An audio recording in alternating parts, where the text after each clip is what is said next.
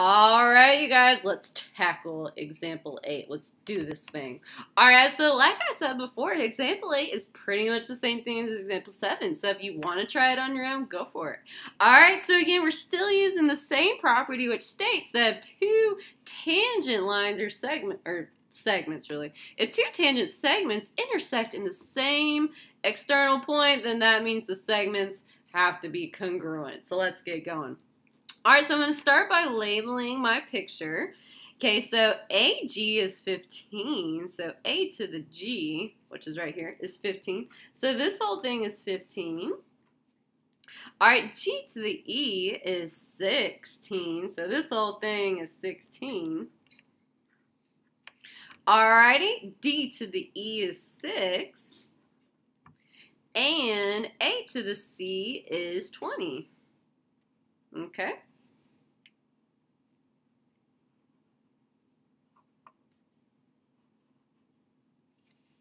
All right, so we need to find the lengths of all these different pieces. So let's see, did I miss anything? So let's see here. AG is 15. Okay, and then GE is 16. And then DE is 6. Okay, yeah, yeah. We got enough information. Just making sure. All right, so let's get going. So again, I'm going to label all the congruent pieces because there's a bunch of them. So anywhere that you spot two tangent segments that come from the same external point, they're congruent. So that means these two are congruent, these two are congruent, these two are congruent, and these two are congruent. Oh man, so these two pieces, BC is congruent to DC, DE is congruent to FE, GF is congruent to GH, and AH is congruent to AB. All right, so let's see if any of this will help us, which are really close. We're so close to finding the perimeter, except we're missing this piece. We have everything else, which currently, if I look at this side, nothing's going to help me. Okay, but I do know that this is 6, so maybe I can use this to help me get to that. Let's see, let's see what will happen. So if that's 6, that means that this piece is 6. Okay, which if GE is 16 and this piece is 6, 6 plus what will give me 16? That would be a 10. Nice. All right, and then since this is 10, that is 10. And since the whole thing is 15, if that's 10, 10 plus what will give me 15?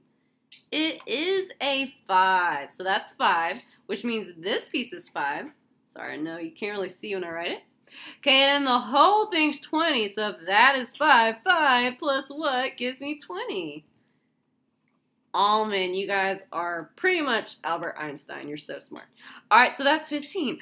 Which guess what, you guys? Since that's 15, it means this piece is 15, which means the whole length of this segment is going to be 15 plus 6, which gives me a 21.